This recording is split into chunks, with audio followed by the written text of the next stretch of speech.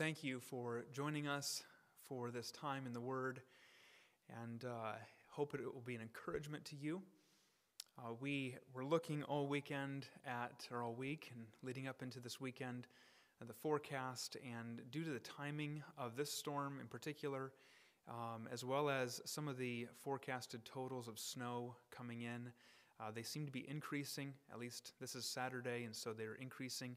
Um, we were back and forth, but believe just looking around at other ministries and what they're doing and uh, looking at our own and dynamics for our church and our church family, believed it was best just to make the call Saturday evening and um, hope that will be uh, help. Uh, we know many people are dealing with sickness right now, too, so perhaps this will just be a timely way for our church family to just get some good rest, uh, spend some time together as a family.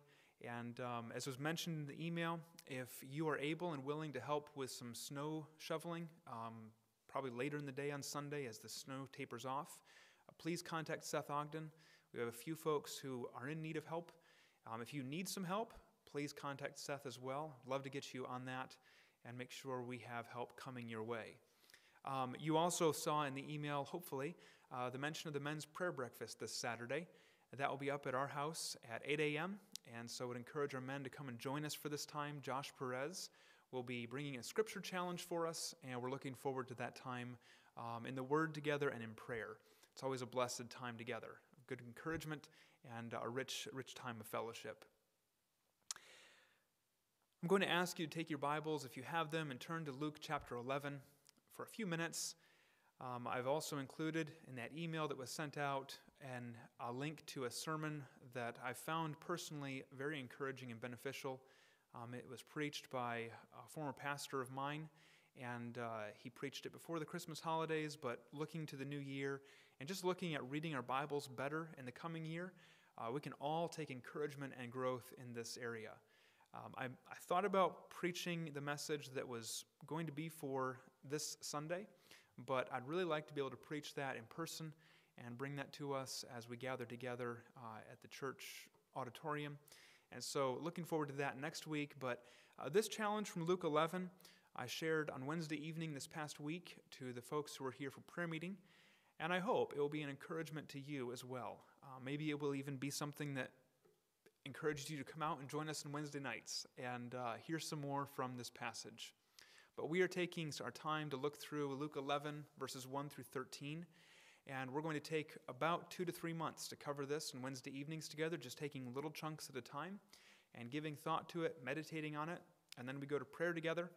And we're just seeking to learn what it is to pray as a disciple of Jesus Christ.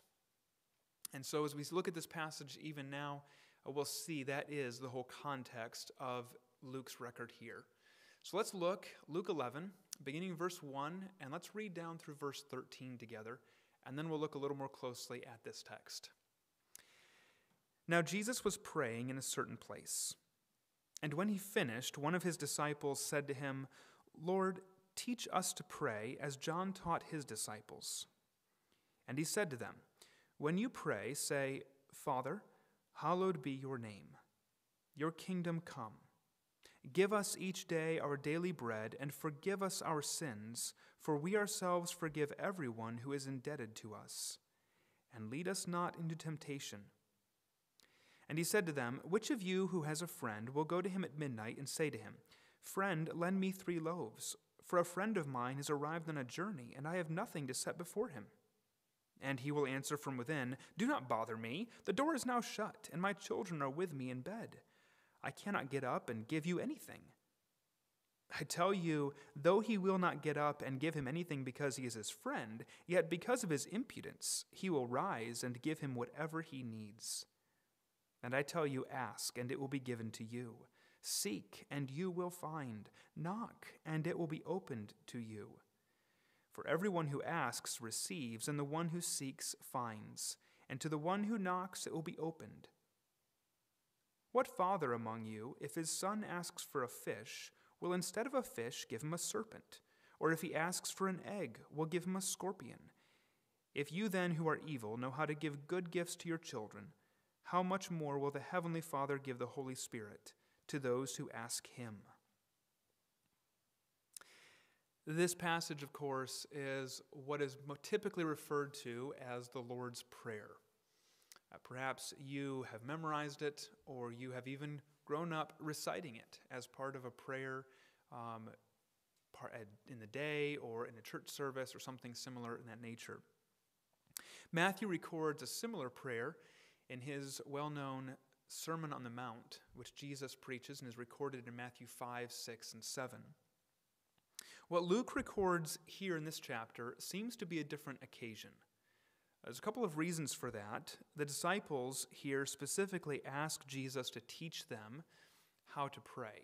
In Matthew chapter 5 and 6 and 7, Jesus is preaching, and in chapter 6, in the course of preaching, he tells them, here's how you should pray.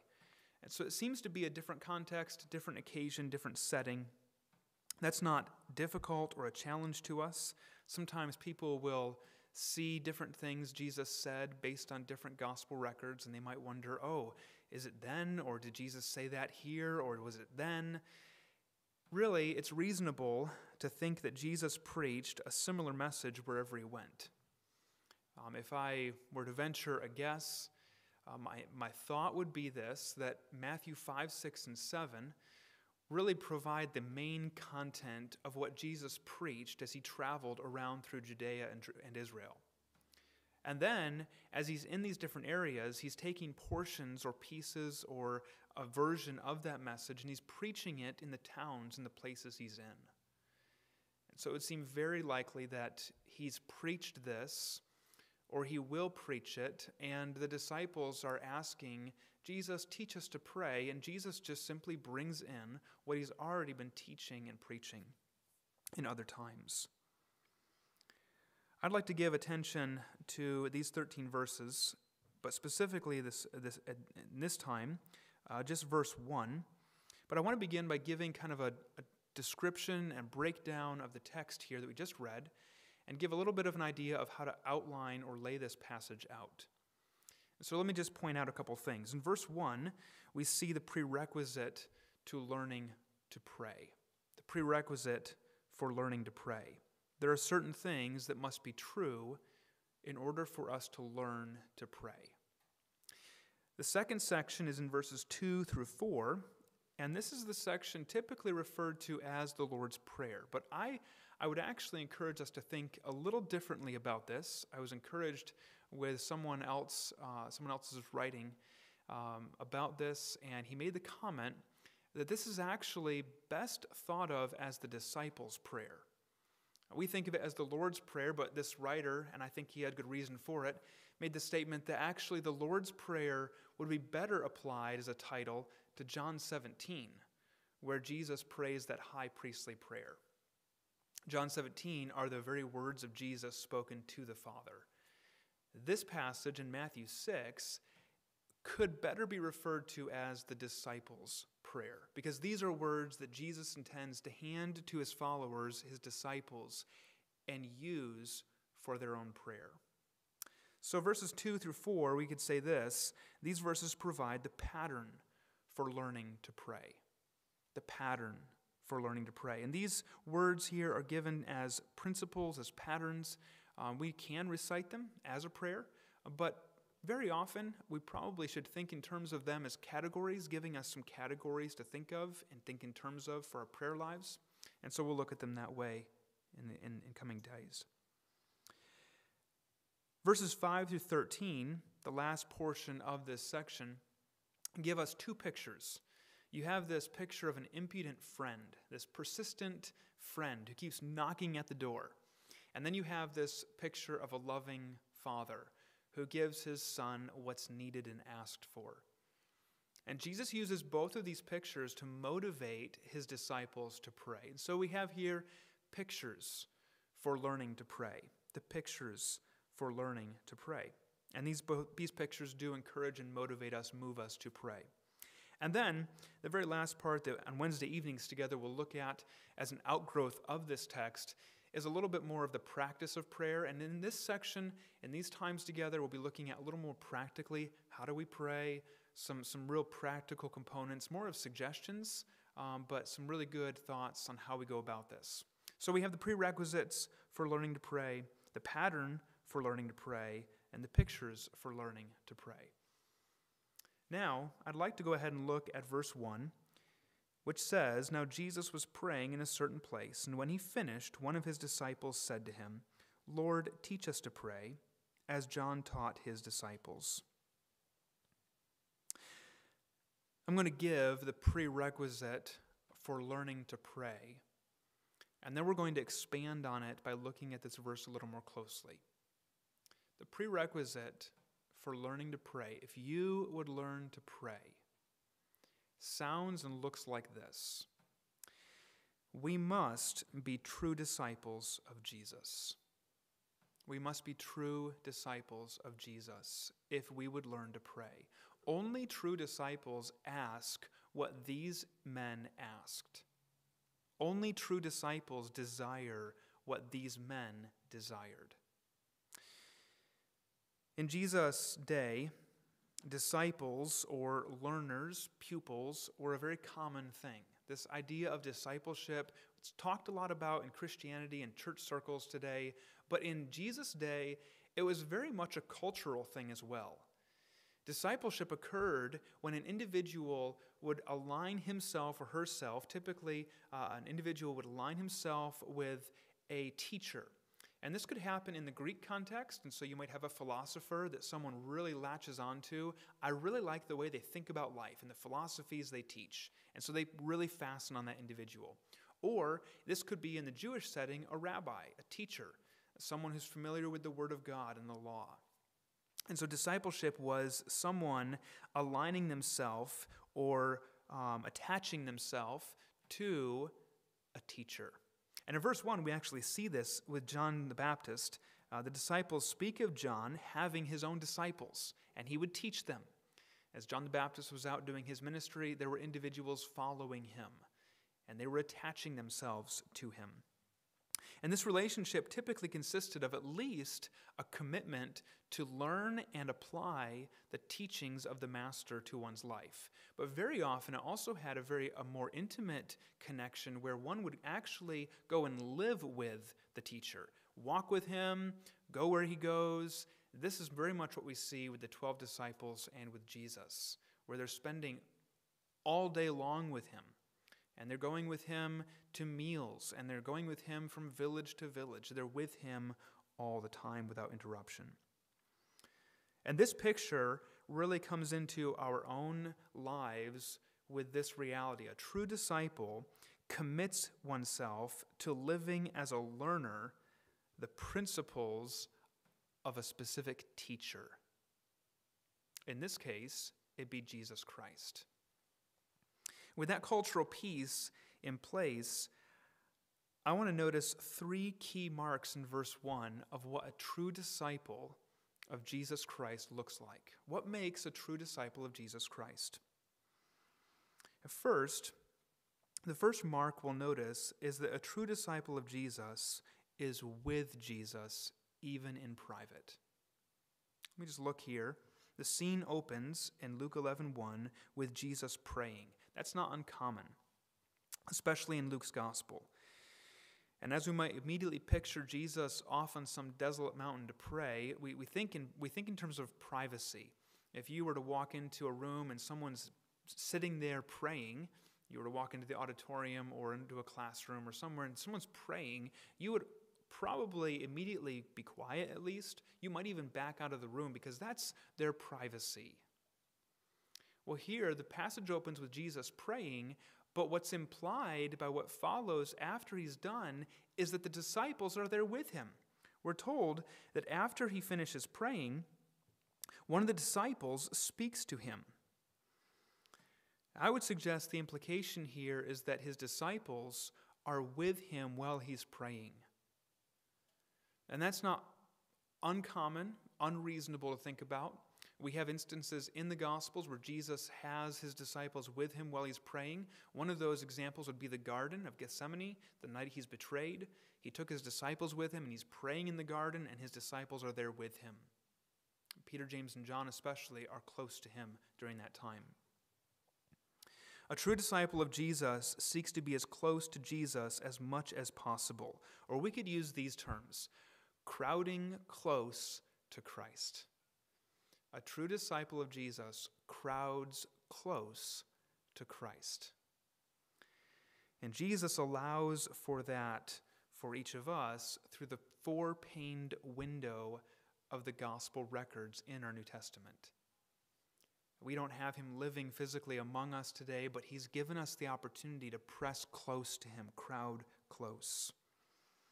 So if we would learn to pray, we must be a disciple who crowds close to Jesus Christ. Let me ask you are you crowding close to Christ as this new year begins? Are you looking to get as close to Him as you possibly can, be that through reading the Gospels themselves or reading other portions of the Bible and seeing how it points to Jesus Christ, watching the epistles unfold Jesus Christ, reading Hebrews and seeing the better sacrifice, the better way in Christ, looking at Revelation and seeing the consummation of everything in and through Christ, wherever it might be, are you crowding close to Christ? Are you picking up books that encourage your heart and drive you to look at and see more of Christ? This is a mark of a true disciple. But what does a disciple who gets close to Christ do?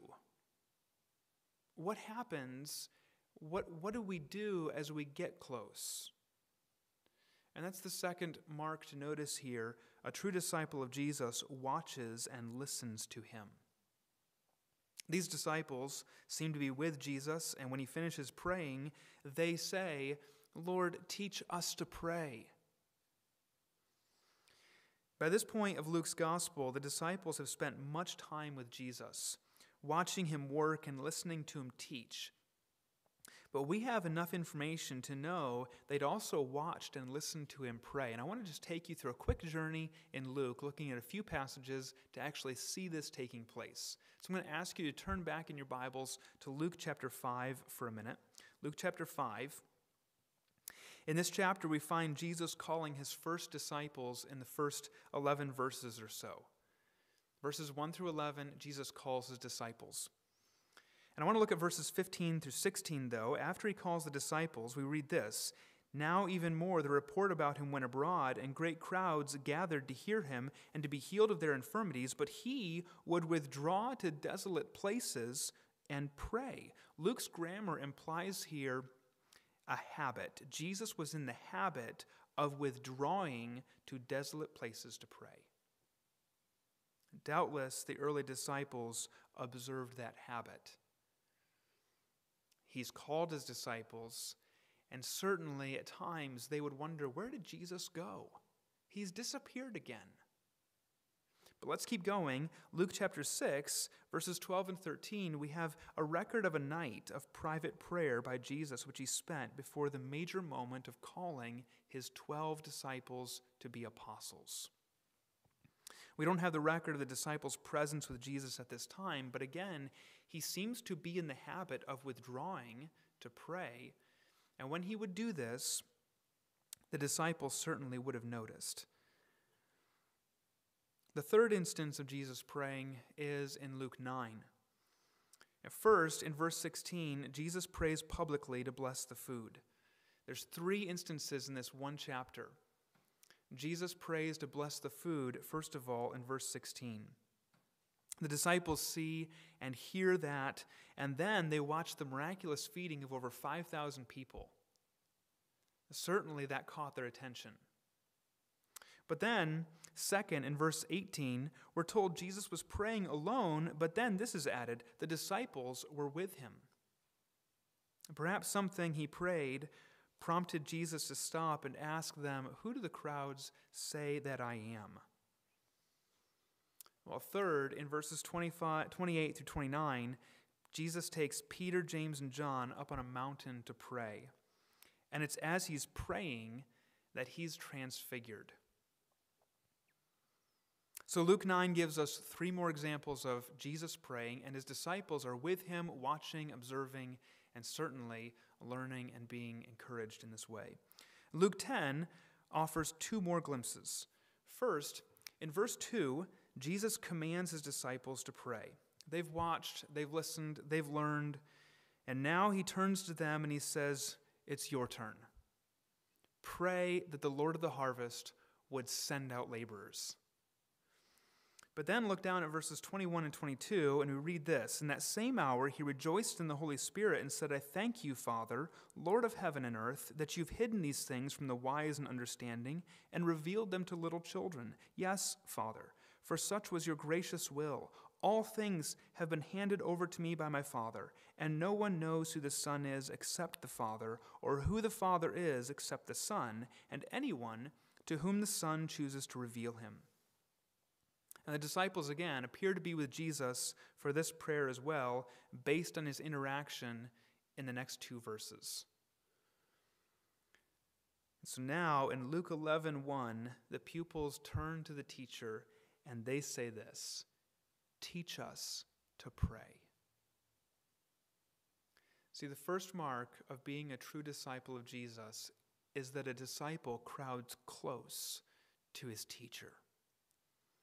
But as he crowds close, as she gets as close as possible, what's happening is they're desiring to watch and listen to what Jesus has to say. That's the second mark. These disciples are watching and listening to Jesus as they crowd close to him. And they end up, because of that, as they crowd close and as they watch and listen, the third mark happens. The third mark is this true disciples of Jesus desire to be taught by him. These followers wanted to learn to pray. They desired Jesus' instruction, which led them to ask for it. In fact, their desire to learn to pray led them to pray. They had crowded very close to Christ, right into his private prayer closet, as it were. And think of the things, the glorious things they saw Jesus transfigured, crowds of people fed They'd watched and listened to his example and exhortation, and they wanted to do as he did. That's the heartbeat of a true disciple of Jesus. Now, persistent progress in the habit of prayer marks true disciples of Jesus Christ. Not perfection, but persistent progress in the habit of prayer marks true disciples of Jesus Christ. Do you want to learn to pray? A desire to learn better how to pray is a mark of a true disciple. And that really begins to happen as one crowds close to Jesus Christ, to watch and listen to him. What does he say? What does he do? And as you see him, as you hear him, your heart should be stirred to this fact I want to learn. You say, I don't really have that desire. I don't really see the importance of learning to pray. Can I encourage you? Then go back to step one, go back to Mark 1, the first mark, and crowd close to Christ again. If you would learn to pray, being a true disciple of Jesus Christ is the prerequisite. And the marks of that discipleship are a crowding close to Christ. Secondly, to watch and listen to Christ. And thirdly, to desire to pray as Christ prayed. May God help us to learn to pray, desire to learn to pray. And I hope that we'll be encouraged to crowd close to Jesus Christ in the coming days as well as the coming year. May God bless you. May you have a great rest of the day. And I trust that it will be a restful day in the Lord. Let's pray. Heavenly Father, we thank you so much for your word for the truth that it brings to our lives. Encourage us. Lord, stir us to draw close to Christ, to desire to learn to pray. Father, we thank you for your instruction and guidance to us. We pray for your safety and your goodness in our lives today and over the course of the next few days. We ask for your mercy and your grace each day that we would walk closely with you. In Jesus' name, amen.